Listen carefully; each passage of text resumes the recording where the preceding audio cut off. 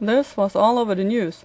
The street in Berlin was found to be contaminated with radioactivity. All those websites posted about it, and most of them told kinda um, not real true facts. You can see it like here on this English website. It said that it was reading 31.8 millisievert and that the normal range would be 4 millisievert. So that's that's crap. So I'm gonna tell you my story. I was informed of this incident on Sunday evening by YouTube user HTTP Killer. Thanks a lot again for alerting me early because otherwise I wouldn't have found it out until the next day. So, and this is the very next day, early in the morning at about 5:30 a.m. And you can see I'm pretty much alone in the spot, trying to see if there's elevated background radiation. It seems like they have marked the spot with like a circle with a white circle. You can see it there, right on the asphalt. And the background radiation is not really increased, and I was trying to find out what's going on. So obviously they had parked a car on that spot. And let's look below that car. There's a lot of lead. Those are all lead bricks, basically. So that's the reason why the background radiation isn't all that high.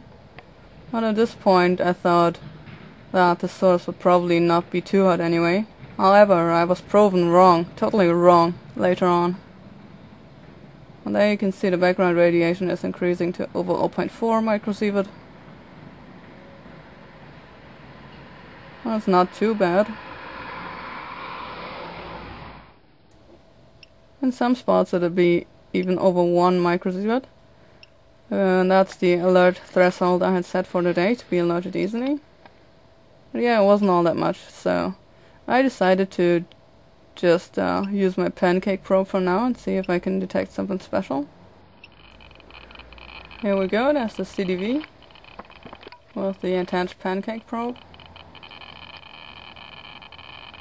Now I'm getting quite interesting pockets of radiation, depending where I place the probe.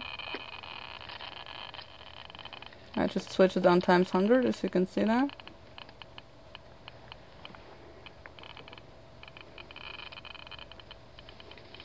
You can see that the radiation is not evenly distributed, or more like you can hear it by the clicks. So that was basically all I could find out at this point in time. So I decided to just come back later and see if there's any works going on or if there's special radiation protection personnel around and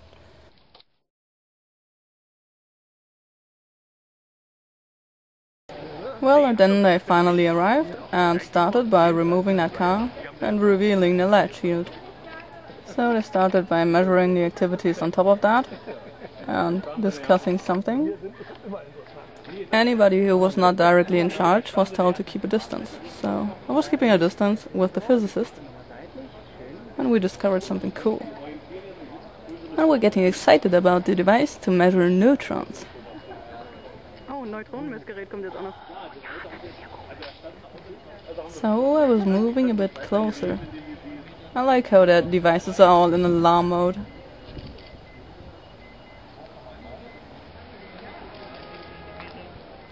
So I decided to check my Gamma Scout as well, and you can see we've got elevated background radiation.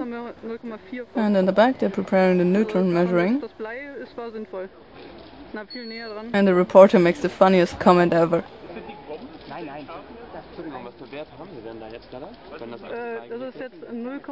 Well, and so I end up giving interviews as well.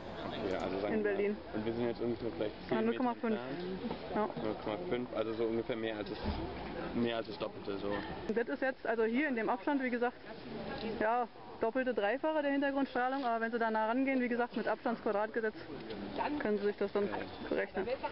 More and more guys were getting ready to take pictures of my device and ask me stuff, and well, that was kind of funny.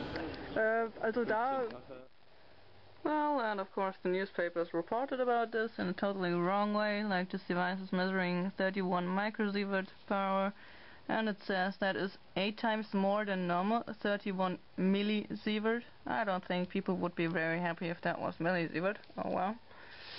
Yeah, Well, it says, who has lost the cesium-137? Well, at least they got the isotope right, because um, as for the next newspaper here, they said it's called Caesar-137.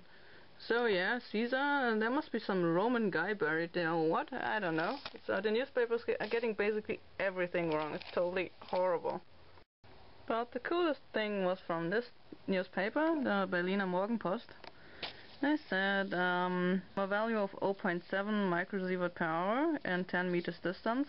That's about three times the normal range, says uh, says an employee of the LPS. What the hell? I'm not an employee of the LPS. Oh well. Um, but she said the radiation um, at that distance would be uh, low and um, yeah, diminishes fast.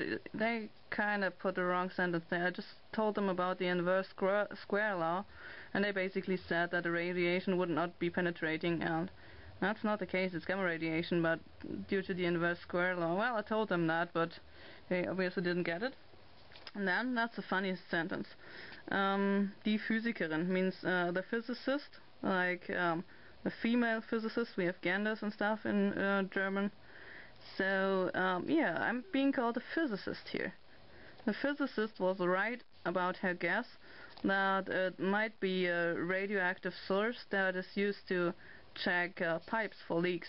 And they said that the physicist was just proven right later on as the source has been uh, had been retrieved and analyzed. So, yeah, that's great.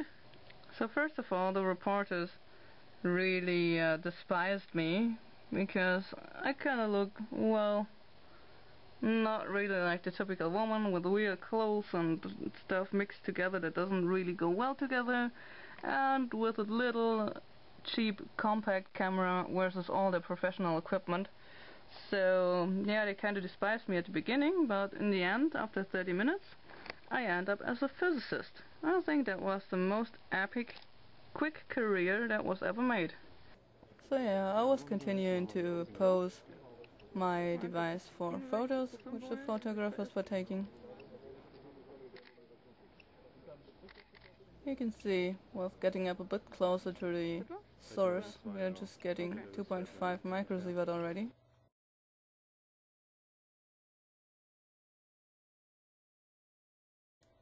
That was the spike my Gamma Scout had logged during the time of being on top of the source. You can see that all background radiation is just a flat line in that graph now. So without that very big spike, here's the background radiation and you can see it's elevated as I'm standing somewhere near around the source.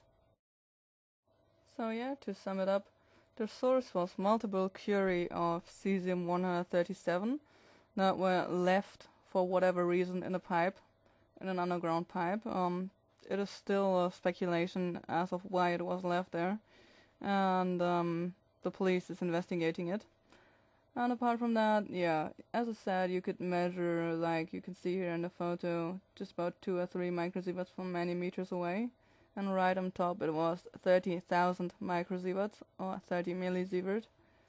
And yeah, I think that was the most epic and awesome fun I ever had in my hometown. So eventually I end up on the news.